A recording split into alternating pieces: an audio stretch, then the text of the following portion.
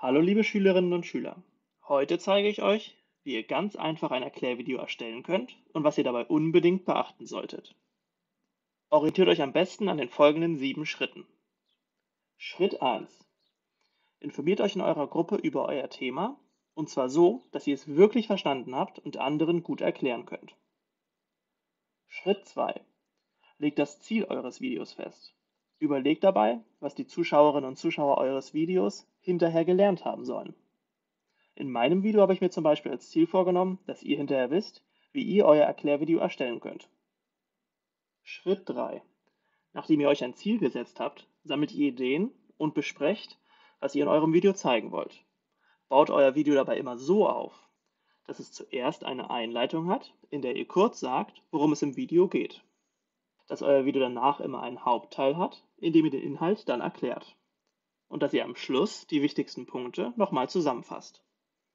Schritt 4. Erstellt ein Drehbuch. Schreibt dazu einen Text, der im Video vorgelesen werden soll. Beachtet dabei, benutzt einfache Sprache und wenn ihr Fachwörter verwendet, dann erklärt diese, damit alle, die sich das Video angucken, auch wirklich alles verstehen, was ihr sagt.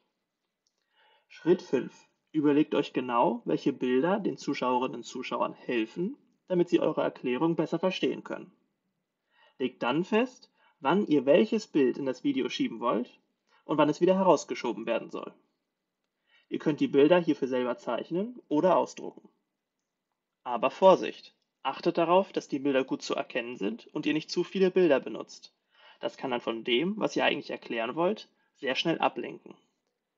Farben dürft ihr natürlich auch benutzen, aber achtet darauf, dass sie nicht zu sehr ablenken und entscheidet euch dann für einige wenige, die gut zueinander passen.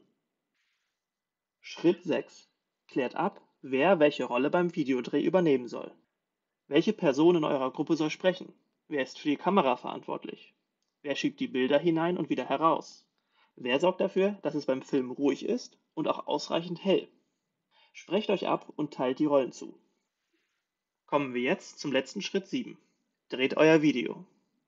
Hierfür braucht ihr einen weißen Untergrund, zum Beispiel ein großes weißes Blatt.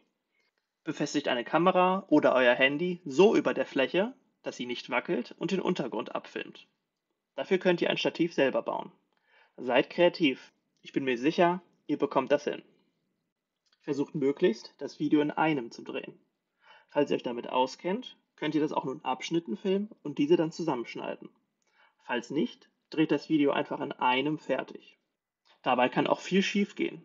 Versucht es immer wieder erneut, bis es so gut klappt, dass ihr mit dem Ergebnis zufrieden seid. Zum Abschluss habe ich noch ein paar Tipps und Hinweise für euch. Das Video sollte zwischen zwei und fünf Minuten lang sein. Behaltet euer Ziel im Blick und achtet beim Text und den Bildern darauf, euch wirklich nur auf das Wesentliche zu konzentrieren. Zu viele Spielereien können zwar witzig sein, am Ende versteht man aber nicht mehr, was ihr eigentlich erklären wollt.